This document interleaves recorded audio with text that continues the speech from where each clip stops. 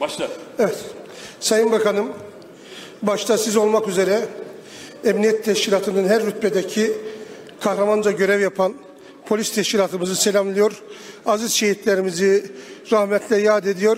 Geride kalan ailelerine ve gazilerimize şükranlarımı sunuyorum.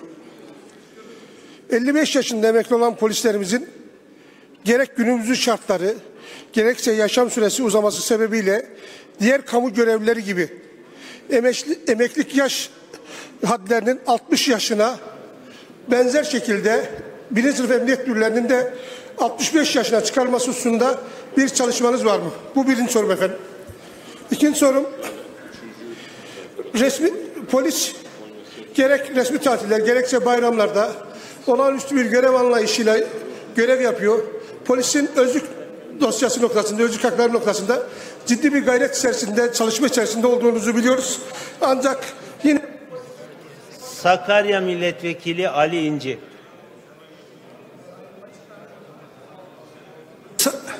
Evet açar. Buyur buyur Ali Bey.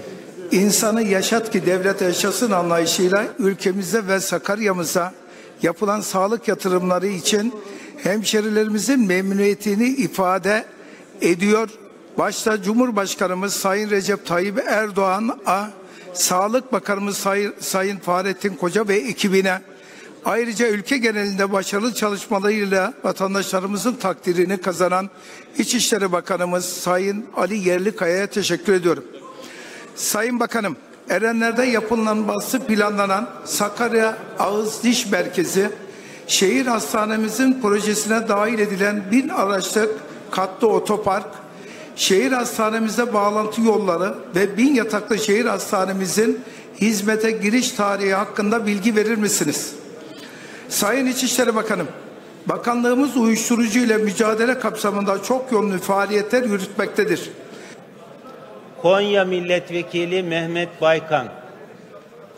Sayın Sağlık Bakanım, yıllar itibariyle hekim başına düşen kişi sayısı 2002 yılından bugüne nasıl bir gelişim sağladı açıklayabilir misiniz?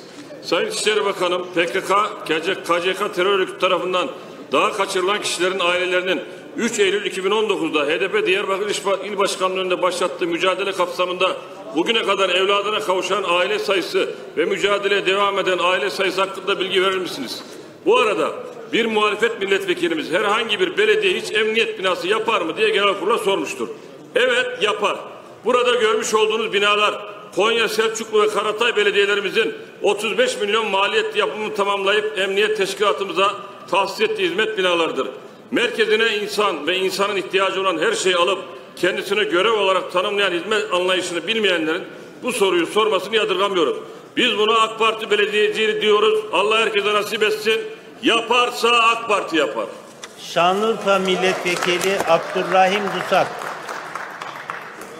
Sayın Say- Bakanım, nükleer santraller sayesinde diğer ülkelere olan enerji bağımlılığımızı azaltacağımız, ülkemiz sanayisi önemli katkı sağlayacağımız ve ayrıca istihdamı artıracağımız aşikardır.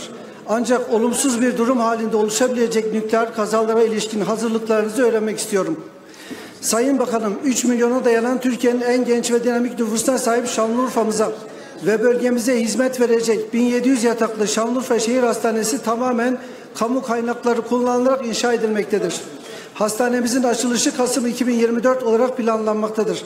Daha erken açılması yönünde bir müjdeniz olabilir mi? Sayın Bakanım, çağımızın bir gerekliliği olarak internet kullanımı çok yaygınlaşmıştır.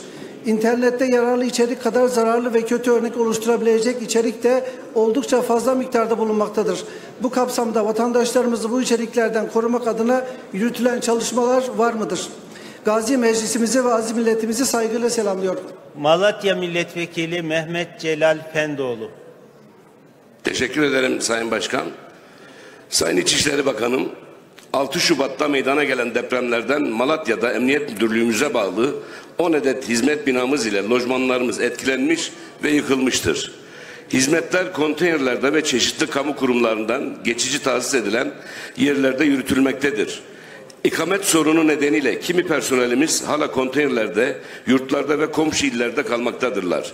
Bu kapsamda Çevik Kuvvet ve Özel Hareket Şube Müdürlüğümüz, Malatya İl Emniyet Müdürlüğü ek hizmet binamız, Battalgazi ilçemiz ile Doğanşehir ve Arguvan İlçe Emniyet Müdürlüğümüzde lojmanları, Beydağ Polis Merkez Amirliğimiz, depo kademe hizmet binası, personellere barınma imkanı sağlamak için dış ilçelerimizde dahil olmak üzere il merkezinde 500 adet lojman yapım inşaatlarının 2024 yatırımına alınması ve hizmetlerimizin aksamaması yönünde Malatya Emniyet Müdürlüğümüzün yeni İstanbul Milletvekili Tuğba Işık Ercan.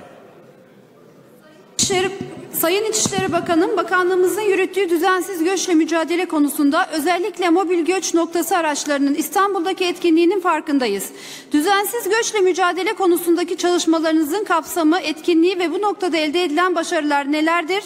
Bu çalışmalar neticesinde sınır dışı edilen düzensiz göçmen sayısı kaçtır? Diğer bir sorum ise olası bir İstanbul depremi en önemli gündem maddelerinizden biridir diye düşünüyorum.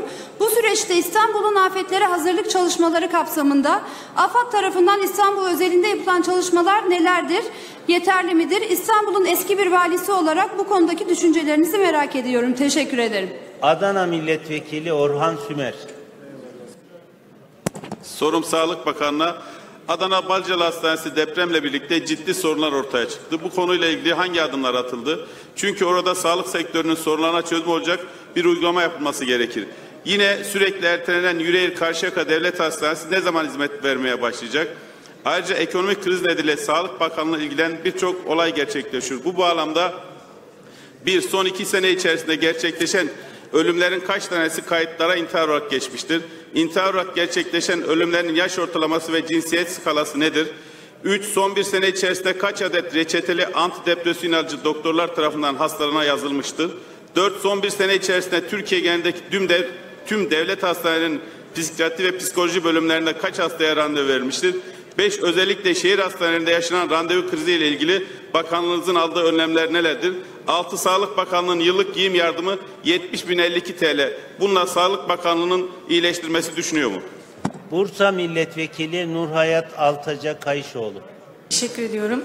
Sayın İçişleri Bakanı son 5 yılda taşınmaz alarak ya da almış gibi yaparak vatandaşlık kazanan yabancıların sayısı kaçtır? Yine e, bireysel silahlanmanın ülkemizde maalesef arttığı, artan şiddet olaylarından da hepimizin malumu. Özellikle internette yaşanan denetimsiz e, silah satışı ile ilgili bir tedbiriniz var mı? E, Sayın Sağlık Bakanı birçok ilde çocuk yan dal uzmanlarının eksikliği dile getiriliyor. Bunu tamamlamak için herhangi bir çalışmanız var mı? Bir de konuşmanızda çok pembe bir tablo çizdiniz ama her gün biz vekillere hepimize e, hastane randevusu, ameliyat sırası, yoğun bakım yatağı gibi şikayetler ve talepler geliyor. Sorunları gerçekten doğru tespit edip çözüm üretiyor musunuz? Teşekkürler. Şanlıurfa Milletvekili Cevahir Asuman Yazmacı. Teşekkür ederim Sayın Başkanım. Şanlıurfa'mıza destekleri, yürütülen projeler ve verdikleri önem nedeniyle İçişleri Bakanımız Sayın Ali Yerlikaya ve Sağlık Bakanımız Sayın Fahrettin Koca'ya teşekkür ediyor. 2024 yılı bütçesinin hayırlara vesile olması, olmasını diliyorum. İçişleri Bakanımız Sayın Yerlikaya'ya iki sorum olacaktı. Birinci sorum kadına yönelik şiddetle mücadelede önem taşıyan KADES uygulamasının daha fazla kişiye ulaştırılması için yapılan çalışmalar nelerdir? İkinci sorum Sayın Cumhurbaşkanımızın açıkladığı gönüllü, güvenli ve onurlu geri dönüş kapsamında Zeytin Dalı, Fırat Kalkanı ve Barış Pınarı bölgelerinde yapılan çalışmalar ne aşamadadır? Çalışmalar sonucunda geri dönen Suriyeli sayısı ile ilgili bilgi vermeniz mümkün müdür? Bu vesileyle ülkemizin güvenliği için can siperhane görev yapan güvenlik güçlerimizle halk sağlığı için gece gündüz demeden özveriyle çalışan sağlık çalışanlarımıza teşekkür ediyor. Genel kurulu saygı Siirt Milletvekili Mervan Gül. Teşekkür ederim Sayın Başkanım. Sorularıma geçmeden önce aktif fay hatları üzerinde bulunan ülkemizde 6 Şubat'ta meydana gelen ve çok büyük bir felakete sebep olan depremde vefat eden tüm vatandaşlarımızın mekanı cennet olsun. Deprem bölgesinde çalışmalarda bulunan, yardıma koşan devletimizin tüm birimlerine ve vatandaşlarımıza da çalışmalarından dolayı teşekkür ediyorum. Birinci sorum 6 Şubat'ta meydana gelen depremler sonrasına toplanan bağışların miktarı, verilen taahhütlerin durumu ve akıbetine ilişkin iddialar hakkında bilgi, tek yürek kampanyasında verilen taahhütleri yerine getirmeyenler hakkında bir yaptırım uygulanacak mı? İkinci sorum kimlik kartı başvurusu için nüfus müdürlüklerine gelemeyecek olan dezavantajlı, dezavantajlı kişilerin yaşlı engelli vesaire kimlik kartı başvurusu nasıl alınmaktadır? Üçüncü sorum polis özlük hakları Mersin Milletvekili Mehmet Emin Ekmen. Sayın İçişleri Bakanımız mafya ve çetelerle verdiğiniz mücadelenin şehirlerimizi daha güvenli kıldığı hususunda ortak bir kanaat var ve milletimiz müteşekkir. Ancak şehirlerin güvenli olması yetmiyor, sokakların da güvenli olması lazım. Birçok yerde çocuk, kadın ve yaşlılar köpeklerin saldırı tehdidi nedeniyle evlerinden dışarıya çıkamıyorlar. Bir veriye göre son bir yılda 24 can kaybı 535 yaralı var.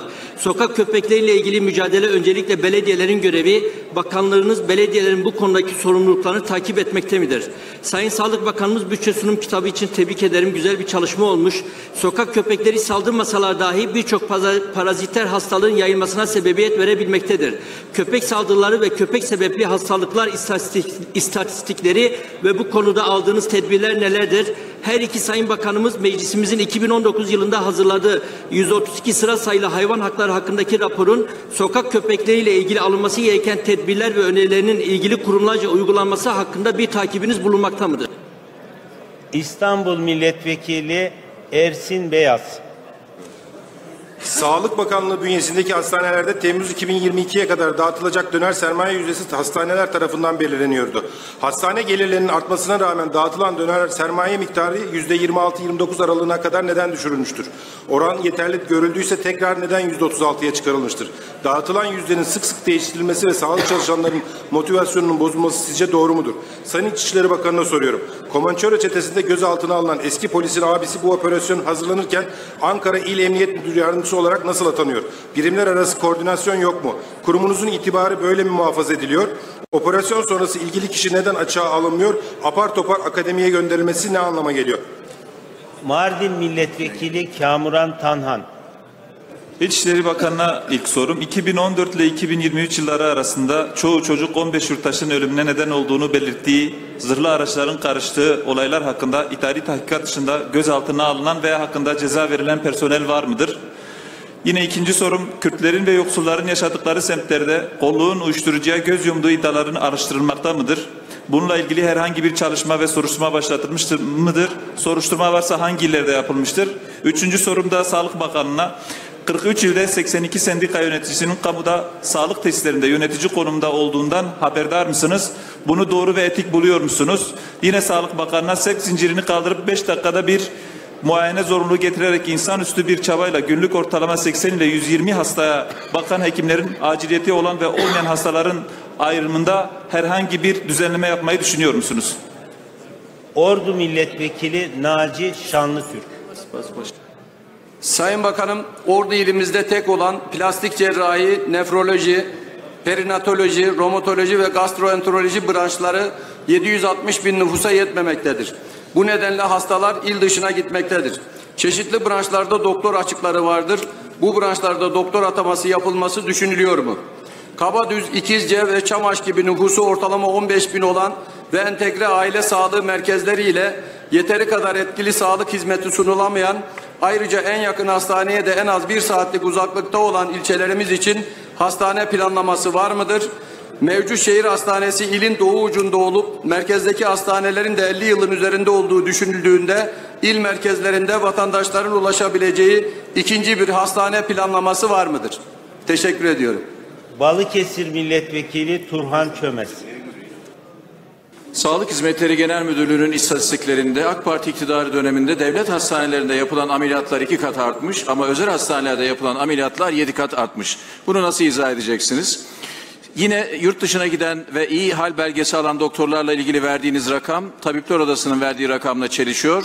e, son 11 ayda Tabipler Birliği'nden alınan iyi hal belgesinin sayısı 2785. Bunu nasıl izah edeceksiniz? Son bir sorum daha var. 2022 yılının Mart ayında bir açıklama yaptınız ve dediniz ki 2.6 milyon Suriyeli ameliyat yapıldı. Aynı dönemde İçişleri Bakanı 3.3 milyon Suriyelinin olduğunu söylemişti. Bunları mukayese ettiğimizde her 100 Suriyeliden 77'nin ameliyat olduğu ortaya çıkıyor. Bütün bu rakamsal çelişkileri nasıl izah edeceksiniz? Teşekkür ederim Sayın Bakan.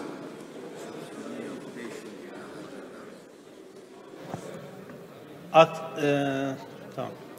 Şimdi değerli milletvekilleri kendilerine yöneltilen soruları cevaplamak üzere Sayın Bakanlara söz vereceğim. İlk söz Sağlık Bakanı Sayın Fahrettin Koca'ya aittir. Sayın Sö- Koca buyurun. Değerli milletvekilleri,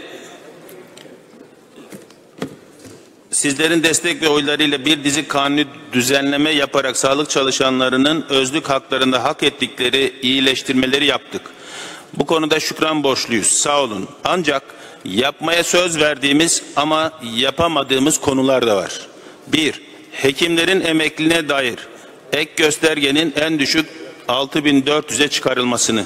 2. Sağlık çalışanlarının sabit ücretlerinin hak kaybı olmadan emekliye yansıtılmasını. 3. Sağlık çalışanlarının taban ücretinin pratisyen hekimlerin üçte biri olması yani 0.32'den 0.64'e çıkarılmasını. 4. Nöbet ücretlerinin düzenlenmesini. 5. Uzman aile hekimlerinin taban ücretinin uzman hekimlerle aynı olmasını. 6. ASM birimlerinin kamu tarafından yapılarak kiradan kurtarılmasını tamamlayamadık. Bunları da desteklerinizle gerçekleştireceğiz. Personel alımı. Personel alımı için gayret ediyoruz. Sağlık çalışanlarımız için şimşeklerle yarışıyoruz. Çok yakında alan sayılarını açıklayacağız. E-reçete. Elektronik reçete kullanımı bizim hayatımızı kolaylaştıran bir uygulama. Daha önce de açıkladım. Bu uygulama kendi vatandaşlarım için yapılmış bir uygulama değildir.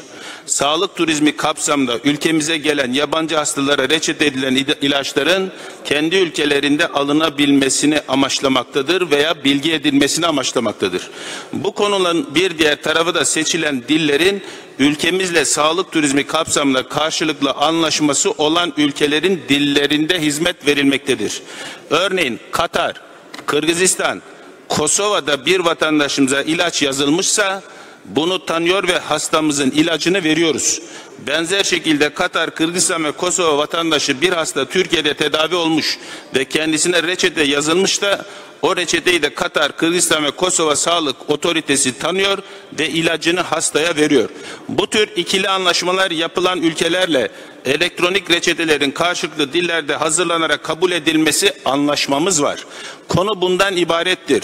Yarın başka bir ülkede sağlık turizmi kapsamında bizimle karşılıklı reçete tanıma anlaşması yaparsa onlar da dil olarak sisteme eklenecek. Bu konu sağlık turizmi yapılmış bir uygulamadan ibarettir.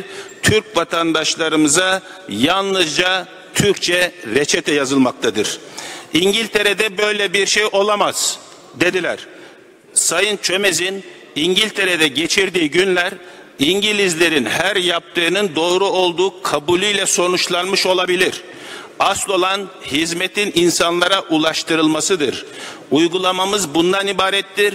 İngiltere'nin her yaptığı doğru olsaydı İngiltere NIH Ulusal Sağlık Servisi verilerine göre muayene olmak için bekleyen kişi sayısı 7.6 milyon olmazdı. İngiltere'nin her dediği doğru olsaydı bugün İng İngi- İngiltere'nin her yaptığı doğru olsaydı bugün Orta Doğu kan gölüne dönmezdi. Suriye, Suriye meselesi. Geçici koruma altındaki Suriyelilere demin de sordunuz. 2011'den bu yana yani 12 yılda 2.6 milyon ameliyat yap- yapıldığını söylediğimi ifade ettiniz. Evet bu sayı doğrudur. Toplam bu ameliyatlara sezeryan da sünnet gibi küçük müdahaleler de dahildir. Tekil bazda, kişi bazlı bir kişiye birden fazla ameliyat da yapılabilir. 12 yıldan bahsediyoruz. Bir yıldan bahsetmiyoruz. Tekil bazında, tekil, beni dinleyin. Lütfen ben sizi dinledim. Tekil bazın, söylüyorum bir dinleyin. Tekil bazında 2.6 milyon ameliyat 1.1 milyon kişiye yapılmıştır. Kaç yılda? 12 yılda. Geçici koruma altındaki Suriyeli sayısı 3.2 milyon olarak biliyoruz. 600 binden fazla kişi geri dönmüştür. Bu sayı da bunun içindedir. Yıllık ameliyat olan yabancıların oranı yüzde üçtür. Vatandaşlarımıza ameliyat, sezeryan, sünnet gibi küçük müdahaleler yapılan ameliyatların oranı ise yüzde beş buçuk civarındadır. Yani Suriyelilere yüzde üç, bizde yüzde beş buçuk. Özetle ameliyat sayılarından daha fazla Suriyelinin ülkemizde olduğunu çıkaramazsınız. Bir diğer soru artık tuz tercih edilmiyor. 2022'de yapılan tuz sınavında yüzde 92 yerleşim söz konusu oldu. Toplam 19.478 478 kişi yerleşti. 2023 yılında ise yüzde 86 yerleşme oranıyla 17.716 kişi yerleşti. Yani kontenjanlar 3 katına çıkmasına rağmen ve şu an uzmanlık öğrenci sayımız yani 4 yıl sonra uzman olabilecek öğrenci sayımız kaç kişi biliyor musunuz? 53.035 kişi. Bizim uzman sayımız ne kadar? 56 bin. Yani 4 yıl sonra Türkiye'nin uzman sayısı 110 bin olacak. Uzman sorunu kalmam, kalmayacak. Bu konuda hiçbir endişeniz olmasın. Müsteri olun. Sakarya Şehir Hastanesi 2025 yılının ilk çeyreğinde hizmete almayı planlıyoruz. Şanlıurfa Şehir Hastanesi'ni 2024 Kasım ayında hizmete almayı planlıyoruz. Daha erken açılması için de bir çaba içindeyiz. Yüreğir Devlet Hastanesi ise 2024 Mayıs ayında açılması planlanmaktadır. Diğer sorularınızı ise yazılı olarak cevap vereceğim. Çok teşekkür ediyorum.